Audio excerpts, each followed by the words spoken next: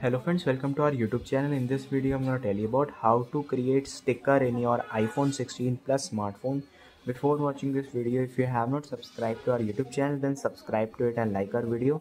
So let's start friends. First you have to open your photos. Select the image that you want to create a sticker. Here it is. The image normally a cartoon character. You have to click on it. Make a long press. And here it is add sticker. You have to click on it and friends you can see it is added successfully.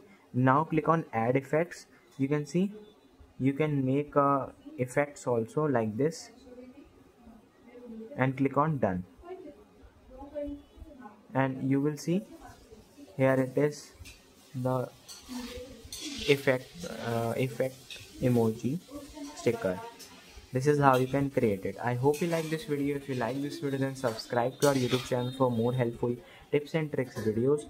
See you next time